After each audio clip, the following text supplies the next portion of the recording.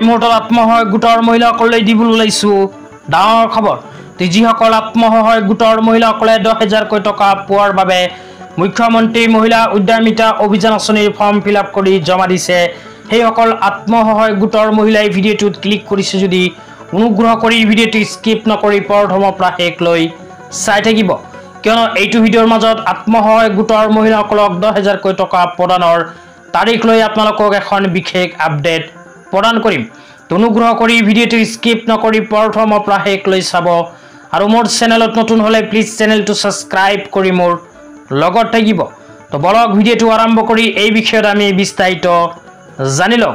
তো যিসকল আত্মসহায়ক গোটৰ মহিলাসকলে দহ হেজাৰকৈ টকা পোৱাৰ বাবে মুখ্যমন্ত্ৰী মহিলা উদ্যমিতা অভিযান আঁচনিৰ ফৰ্ম ফিল আপ কৰি জমা দিছে সেইসকল আত্মসহায়ক গোটৰ মহিলাসকলৰ বেংক একাউণ্টত অহা নয় অক্টোবৰ তাৰিখে সোমাব নেকি? দহ হেজাৰকৈ টকা।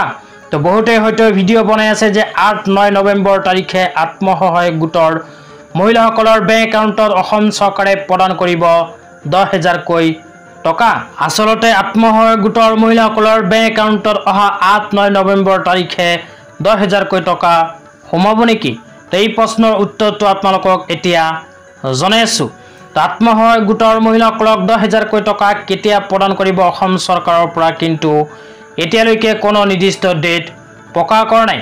তো যিসকল মানুহে আপোনালোকক আঠ নয় তাৰিখৰ কথা কৈ আছে সেইবোৰ কথা আপোনালোকে বিশ্বাস নকৰিব। তো যেতিয়াই অসম চৰকাৰে কোনো নিৰ্দিষ্ট তাৰিখ প্ৰকাশ কৰিব লগে লগে আপোনালোকক মোৰ চেনেলৰ সহায়ত এখন ভিডিঅ' বনাই জনাই দিম। অনুগ্ৰহ কৰি চেনেলটো ছাবস্ক্ৰাইব কৰি মোৰ লগত থাকিব। লগতে আত্মসহায়ক গোটৰ কোনখন আপডেট সম্পৰ্কে আপোনালোকে জানিব বিচাৰে সেয়াও এইটো ভিডিঅ'ৰ কমেণ্ট বক্সত কমেণ্ট কৰি জনাই দিবলৈ নাপাহৰিব। তো আজি ইমানেই। ধন্যবাদ।